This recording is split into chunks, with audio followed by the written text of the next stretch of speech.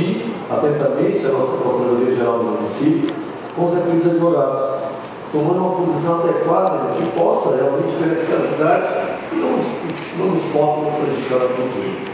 Sabendo que a lei é vasta, sabendo que a lei tem muitas vezes interpretações diferentes, mas é sempre bom estar ouvindo.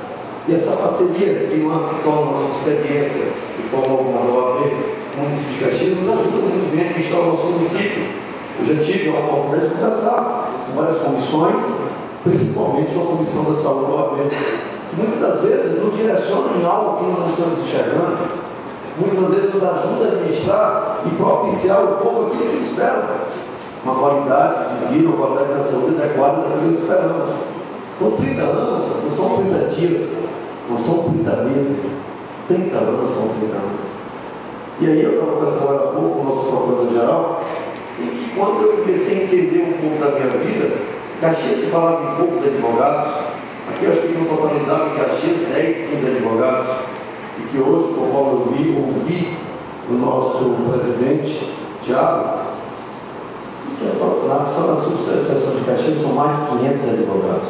Olha o quanto a cidade, olha o quanto o mundo de advogados cresceu. E isso é importante, porque nos dá opções, nos dá um caminho para poder trilharmos, dá um direcionamento. E a cidade, quando cresce, o país, quando desenvolve, o Estado, quando desenvolve, também junto vem problemas. E os problemas precisam dos conhecedores da lei para podermos direcionar no caminho correto. Não poderíamos de forma nenhuma deixar de parceiro dessa entidade que muito bem organiza o nosso país. O próprio nome já diz, ordens advogados do Brasil, com, o seu conhecimento, com a sua, o seu espírito de luta, de vontade de fazer as coisas funcionarem, está lá de forma, eu digo, é, ser presidente de um OAB não é fácil, sem ser assalariado, sem ter um recurso disponível, mas ter dedicação, inclusive que te agradece, Dona Jesus, ter sempre o seu filho para muito bem conduzir a OAB de Caxias. Então vim para cá se dedicar, presidente. Não é tão simples. E quem está fora não vê os problemas que porventura aconteçam, mas quer soluções de imediato.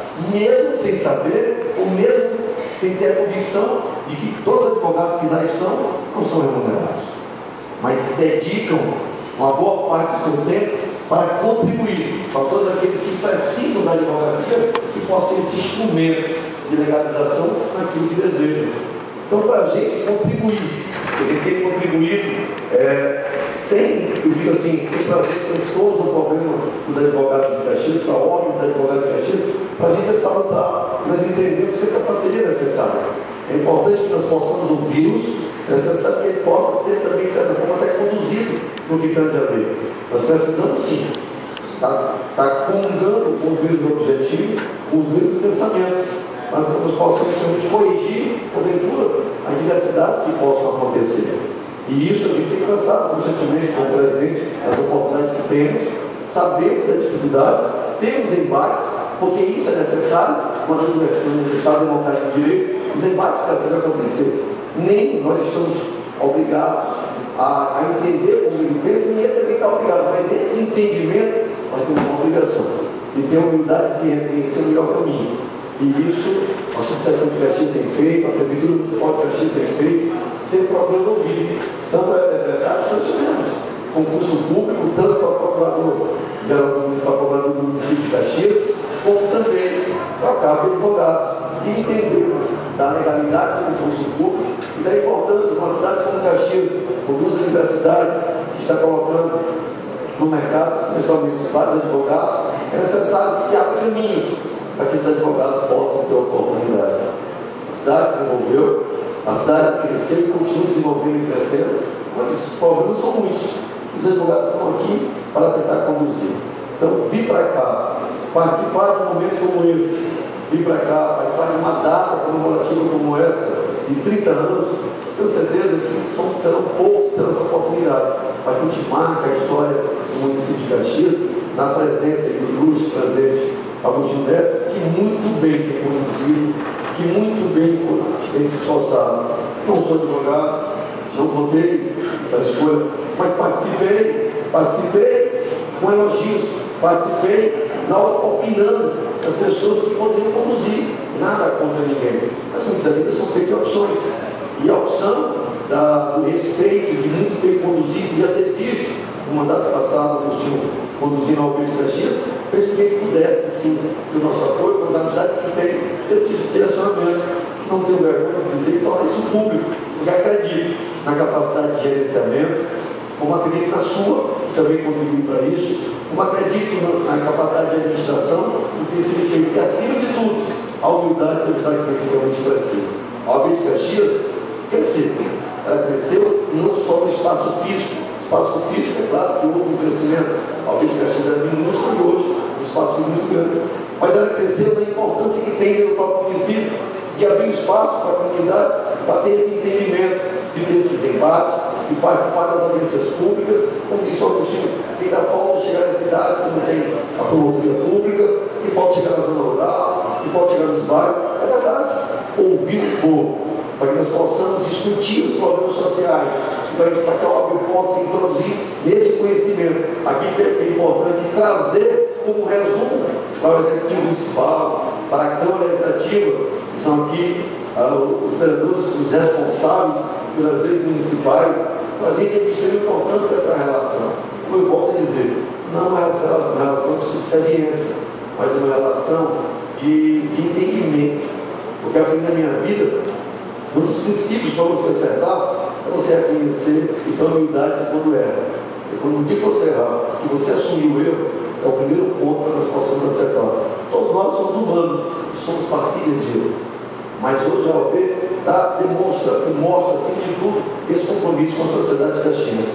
Nós precisamos sim de tornar isso público, parabenizá-los e agradecê-los. A forma que tem, como tem conduzido a OAB de Caxias e a OAB do Estado do Maranhão.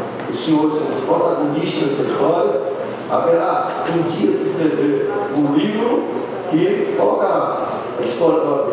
E será humanamente impossível esquecê-los. Tenho certeza disso. Se puder estar no prefácio, o João Funções estará lá. Talvez não tenha a linguagem coloquial que usa os advogados, mas muitas vezes o coração fala de forma espontânea e consiga traduzir o que é a vontade popular. Minha linguagem não é da advogatícia, dos advogados, mas é uma linguagem que se torna a que escuta diariamente da população, que torna aqui plausível aquilo que vocês precisam ouvir o que a população fala e proclama lá fora. Para a gente é importante. A cidade de Caxias é quem agradece a participação da OAB, continua afirmando, Agostinho, que é necessário que a gente possa estar mais próximo, próximo sentido de estar ouvindo, de estar discutindo, de estar encontrando as soluções né, dos problemas da cidade. OAB também um órgão importante, representativo na nossa sociedade. Que Deus possa abençoá-los, não só hoje, mas sempre conduzindo da forma que tem sido conduzido a OAB do Estado do Maranhão em especial a OAB de Caxias. Nós precisamos sempre de pessoas à altura dos senhores, compromissadas, compromissados com o nosso Estado, com o nosso país, preocupados com aqueles que realmente precisam do nosso apoio, que precisam do nosso ombro amigo, que precisam, acima de tudo, da possibilidade de ter caminhos a seguir. E a todos os advogados aqui presentes, fica o nosso, o nosso parabéns a cada um, embora não seja de advogados, parabéns por ter condições junto ao AB, por ter espaço dentro do município de Caxias para que possam trilhar e mostrar a competência que cada um tem. Sei que todos que aqui estão passados estão aqui como competentes, porque são competentes.